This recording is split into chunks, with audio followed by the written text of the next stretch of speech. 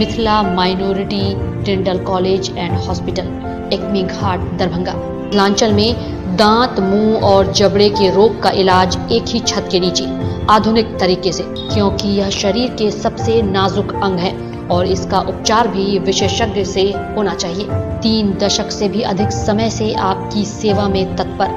बिहार का गौरव, हर दिन सुबह नौ बजे से शाम चार बजे तक। दांत, मुँह और जबड़े से संबंधित समस्याओं का इलाज किया जाता है। अधिक जानकारी के लिए जल्द संपर्क करें। Mithila minority dental college and hospital. Darbhanga SSP ने सूचना दी कि सिंहवाड़ा के भरवाड़ा बाज़ार से तीन अपराधियों को गिरफ़्तार किया गया, जिनके पास से बरामद हुआ पिस्टल। दरभंगा एसएसपी ने बताया कि सिमरी थाना क्षेत्र के बिछोड़ी के पास इनोवा कार पकड़ी गई, जो गाड़ियों से चुराती थी डीजल। मधुबनी एमएलसी सुमन महासेठ का बड़ा फैसला, कहा कि अगर एनडीए टिकट नहीं देगी तो होंगे निर्दलीय खड़ा दरभंगा यातायात थाना पर डीएसपी बिरजू पासवान ने सभी ट्रैफ़िक पुलिस को दिया प्रशिक्षण और हिदायत। दरभंगा के बाढ़ मुक्ति मोर्चा एवं बाढ़ में डूबे गाँवों के लोगों की बैठक सिंहवाड़ा में। लहरियासराय के नेहरू स्टेडियम में एक्सपो 22 में 5000 वस्तुएँ की गई डिस्प्ले, सभी अधिकारियों ने लगातार किया निरीक्षण। खरीदारों की बड़ी भीड़। दरभंगा नगर निगम को दोनार पेट्रोल पंप ने डीजल देना किया बंद, लाखों का बकाया। नगर आयुक्त के कहने पर प्रारंभ किया फिर। दरभंगा डीएमसीएच अधीक्षक ने कहा कि टेंडर में अगर कोई उनका नाम लेकर गलत इस्तेमाल करता है तो उनका पैसा बेकार हो जाएगा। निष्पक्षता से होगा टेंडर। सात तारीख को दरभंगा नगर निगम की मेयर बजट प्रस्तुत करेंगे। स्थायी समिति की बैठक।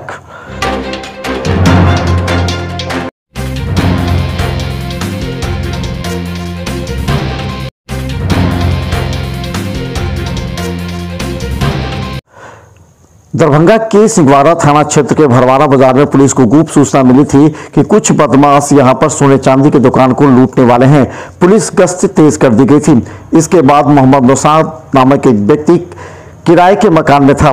पुलिस ने गुप्त सूचना के आधार पर जब छापेमारी की तो मोहम्मद नौशाद के पॉकेट से एक देसी पिस्टल एवं मनोहर कुमार के पास से गोली बरामद की गई है। गौरतलब है कि ये सभी भरवाड़ा बाज़ार में डकैती की योजना बना रहे थे और इस बात की सूचना दरभंगा एसएसपी को मिली थी। एसएसपी ने तत्काल सिंहवाड़ा थाना को सूचना दी। इसके बाद टेक्निकल टीम ने गुप्त सूचना के आधार पर कार्रवाई की, जिसमें दो मोटरसाइकिल, दो मोबाइल भी बरामद किए गए।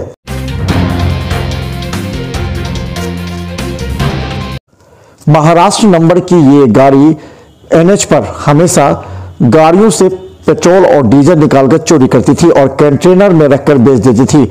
आज पुलिस ने गुप्त सूचना के आधार पर सिमली थाना क्षेत्र के बिछौली के पास खदेड़ कर इनोवा की इस गाड़ी को पकड़ा, जिसमें करीब दो दर्जन से ज़्यादा कंटेनर रखे थे, जिसमें डीजल थे। कहा जाता है कि ये सभी डीजल चुराए हुए थे। हालाँकि व्यक्ति कार छोड़कर भागने में सफल रहा। पुलिस करीब दो दर्जन कंटेनर के साथ इनोवा को जब्त कर सिमली थाने लाई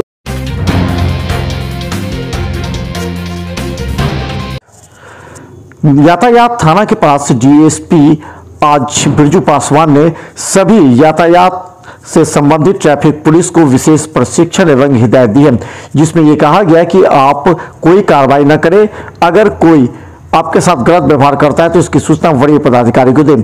इसके अलावा बिरजू पासवान ने कहा कि अब ठंडे का वर्दी हट जाएगा और ग्रीष्मकालीन वर्दी कल से प्रारंभ हो जाएगा। उद्देश्य यह है कि यातायात को हम लोग सुचारू रूप से संचालन कर सकें। इन लोगों को निर्देश बार बार यह दिया जाता है कि किसी भी व्यक्ति के साथ अच्छा बिहेव करना है।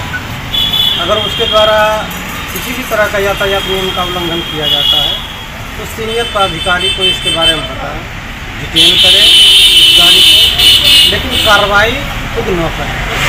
इससे यूनिफॉर्म हट जाएगा ठंडा वाला। और ग्रीष्मकालीन जो यूनिफॉर्म है वह पहना जाएगा।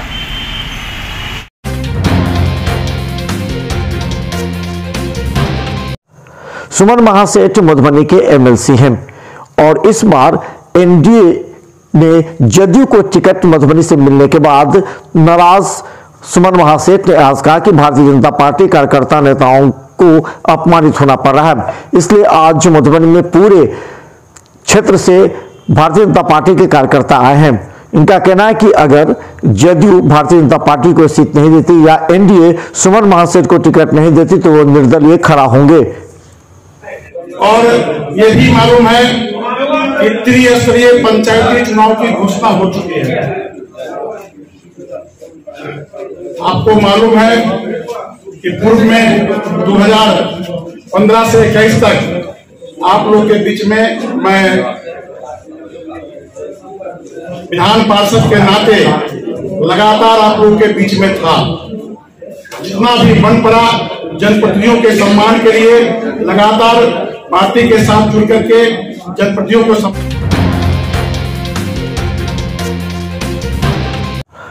सात तारीख को दरभंगा नगर निगम की अस्थाई समिति की बैठक बुलाई गई है, जिसमें 2022-23 के लिए बजट प्रस्ताव पारित किए जाएँगे। इस मौके पर मुन्नी देवी और के साथ डिप्टी मेयर भरत सहनी भी मौजूद रहेंगे। गौरतलब है कि मुन्नी देवी का यह पहला बजट है। मात्र दो महीना पहले ही मेयर के पद पर आसीन हुई थी। इनके समक्ष एक चुनौती है कि दरभंगा के जनहित में किस तरह का बजट पारित करवाएँ।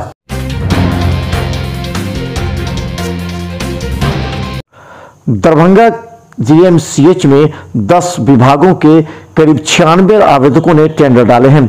इसमें इस बात की सूचना अधीक्षक को मिली कि कोई उनके नाम पर पैसे की बात कर रहा है या कह रहा है कि उनके आदमी टेंडर उन्हीं के मिलेगा तो ये बातें गलत है। कोई इस झांसे में नहीं आए। कोई।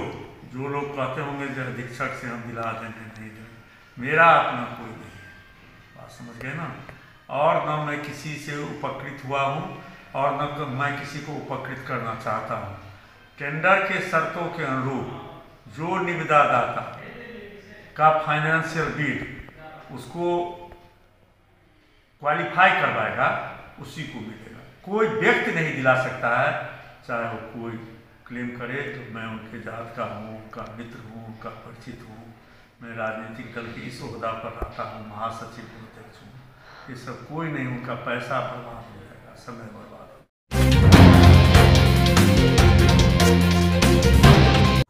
दरभंगा नगर निगम के द्वारा दोनार पेट्रोल पंप से हमेशा ट्रैक्टर एवं अन्य गाड़ियों के लिए डीजल ली जाती थी, लेकिन 75 लाख रुपया बकाया रहने के कारण पेट्रोल पंप के द्वारा नगर निगम को डीजल की आपूर्ति बंद कर दी गई, जिससे हाहाकार मच गया, सफ़ाई प्रभावित होती। बाद में नगर आयुक्त के चार दिन के में पैसे मिलने के आश्वासन पर पुनः स्टार्ट किया गया। पेमेंट लमसम पचहत्तर लाख रुपया के लमसम रुका हुआ है। इसीलिए हम तेल देने में सक्षम हो गए हैं। इसीलिए मेरे पास तेल मंगाने के लिए पैसा नहीं था इसीलिए हम तेल नहीं दे और अभी मतलब नहीं दे रहे हैं कि दे रहे हैं फिर से? अभी जस्ट पाँच मिनट पहले चालू किए हैं। हाँ। ऊपर से नगर आयुक्त जी का मेरे प्रोपराइटर के पास फ़ोन आया था। तब उन्होंने ऑर्डर किया जे दो उन्होंने चार दिन का टाइम दिया चार दिन में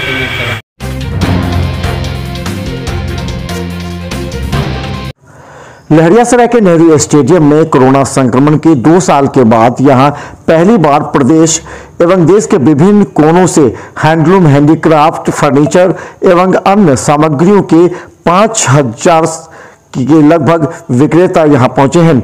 इस संबंध में कहा गया कि इस बार हैंडलूम को बढ़ावा देने के उद्देश्य से इस तरह के कार्यक्रम का आयोजन किया गया है। गैप में तीन साल तक कोई प्रदर्शनी दरभंगा में नहीं हुआ, पूरे डिस्ट्रिक्ट में। हम लोगों ने बड़ी हिम्मत करके अभी मानिए डीएम साहब और एसडीओ साहब से परमिशन लेके इस प्रदर्शनी को लगा रहे हैं और इसमें प्रदेश के कोने कोने से, भारतवर्ष के कोने कोने से लोग आए हैं। हैंडलूम, हैंडीक्राफ्ट, घर में उपयोग होने वाले फर्नीचर और बहुत सारी वस्तुएँ, जो इसमें कम से कम पाँच हज़ार वस्तुएँ डिस्प्ले की जाएगी।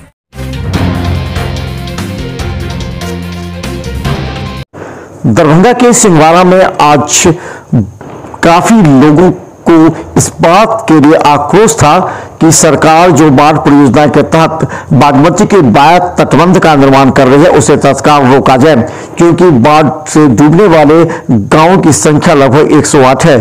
यहाँ पर लोगों ने कहा कि पचफुटिया बाँध के निर्माण की प्रक्रिया जो बंद थी, उसे शुरू किया जाए। बाढ़ मुक्ति मोर्चा, सह ग्राम बचाओ संघर्ष समिति के बैनर तले ग्राम पंचायत राज मोहम्मदपुर सुनवरा के भगवती स्थान में सारे जो बाढ़ डूब क्षेत्र वाले लोग हैं, उनका बैठक बोला आहूत किया गया था। ये जो बागमती परियोजना का बाया तटबंध है, उसको नहीं बांधने के लिए और हम लोगों को बाढ़ का स्थायी समाधान पचफुटिया की जो मुँह खोलने बागमती नदी धारा के पुराना मुँह है पचफुटिया पर उसको खोलने घुघराहा का मुँह खोलने शांति नदी के धारा को जगा करके गंडक के रास्ते जल निकासी के परिप्रेक्ष्य में दरभंगा मौलागंज के टेंपू चालक हत्याकांड को लेकर दरभंगा एसएसपी ने कहा, शीघ्र होगी अपराधी की गिरफ्तारी अनुसंधान जारी। दरभंगा के प्रभारी एसएसपी अशोक कुमार प्रसाद ने आज बताया कि टेंपू चालक हत्याकांड में कई अनुसंधान पर कार्य चल रहा है। हालाँकि उन्होंने कहा कि विश्वविद्यालय थाना में उस पर मामले भी दर्ज थे और रॉन्ग डायरेक्शन से एक बाइक आई थी, जिसमें तीन सवार थे। सभी बिंदुओं पर जाँच चल रही है। देखिए, जिस रात ये घटना घटी है, वो घर से गए थे वहाँ पे, टेंपू लेके। और उस जगह पे एक बाइक भी मिली है जिस पे